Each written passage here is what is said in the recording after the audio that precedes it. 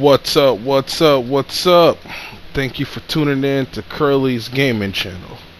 Like and subscribe. So today we're pretty much going to be talking about Skarn. He's a earth type monster and does devastation to anybody that crosses paths. Unless you wear the Terra's armor, which is the earth element that protects you for from such things. So, and as you've seen, mine was at 300. So, I'm going to be taking damage, but it's not going to be to the point where I get knocked out. I don't believe anyway. So, let's get started. So, you know, I pretty much do what I always do. You know, pretty much throw up the flare to to let other players know where I'm at. But right now, I'm pretty much using the ice sword. But the weapon that you want to use against him is anything that deals with a shock, electricity. I currently don't have one, so I pretty much decided to go with the strongest weapon I had had available to me. And not only that, it pretty much gives me like a 10 uh 10 plus region on my endurance. So, you know, it wasn't a bad choice at all. You know, when he pretty much stands up, if you have the ability or like have the power to knock him down, do so. But in order for you to do that, you literally have to attack his feet. Feet, legs, whatever, anything in that area. If you want to, you could probably even hit him in the balls. But you, but you know, you pretty much, you know, you gotta knock him down because if you don't, he'll pretty much come down on you and deal a, a good amount of damage to you. And what you want to watch out for this uh, monster, once he pretty much shifts all his, you know, all his armor to one side, roll the opposite direction because that's the way he's going to fly. And when he flies, he's going to hit you because he throws his whole body. See, look, right there. He hit me. He pretty much did like a mini cannonball. Now he's up there, you know, trying to play King of the Hill and whatnot, but, you know, me and my crew wasn't having that. So, you know, we pretty much messing them up. And by far, like for new players or like people that haven't met, made it past this person, like I'm still using the Terra gear and I'm up there fighting threat level nines or and you know so on and so on. This is a good set of armor, so I hi I highly recommend it. You know, so you know it pretty much gives your teammates shields right along with you. I believe it's like for 12 or 15 seconds, but nonetheless, it still gives them a free shield. Like I can either make you or break them. Whatever, you know, pretty much got an inch of their life left, and you know, you can generate that shield to protect them with. Why not do it? You know, this is a game to where you need to be working as a team. You know, so if you have equipment that you can equip that can help you and your teammates out, do so.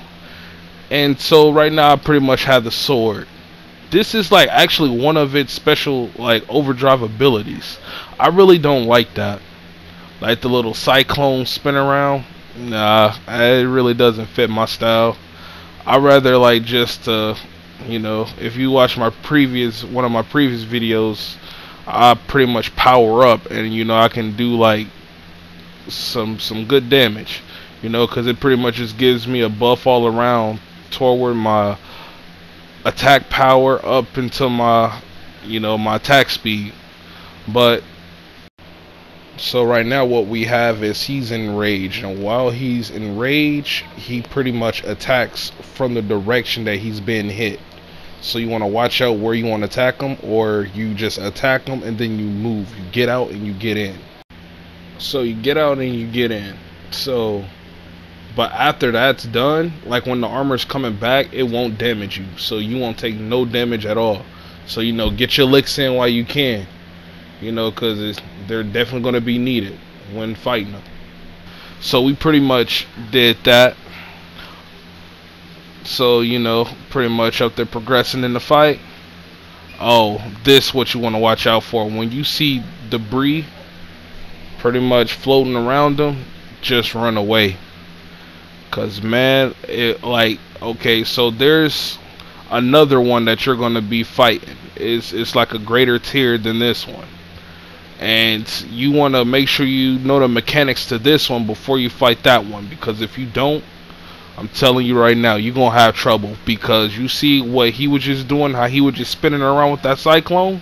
The other one does that, but some other stuff is at it. He zigzag and he will mess you up. And when I say like I can't survive that, I mean I don't even think the people with the up tier armor can survive that. So you know you really want to you know get familiar with this one's mechanics before you go try to fight the higher one. But if you pretty much stay or actually like and if you having problems dodging its attacks i mean the simple way that i can pretty much much explain how i did it was i literally i stayed back and like i watched other people fight them you know like here and there you know i pretty much dive in get some hits and then i move back. But then like when i'm pretty much comfortable you know with how he works you know i pretty much go in and do my thing Cause you know I just can't sit back and you know watch the teammates go at it. You know I gotta get me some of that action. You know, I'm a field soldier. So right now I'm pretty much, you know, ooh, yes. Almost forgot. That hammer. That hammer does not not just a significant amount of damage, but it breaks its armor and I don't know if you can see like those stones that uh that I'm up there receiving. I really can't see it from where I'm sitting at, but like that's how you get it. I think it's like the Omi stones and like uh other additional ones, like stone shards or something like that. But yeah, that's how you get those. For the players that have low quality gear, I cannot stress this enough. You got to keep your health up, because if you don't, you will die and nobody want to pick you up while up there trying to survive. You know, that's kind of, I mean, it happens, but like when you can avoid it, I believe you should avoid it. You know, be considerate of your teammates. But, but for the most part, you know, just keep on getting in. When he's enraged, getting in attacking him. You gotta make sure that you watch out, because when you attack him, you need to move because that armor is going to begin thrown at you.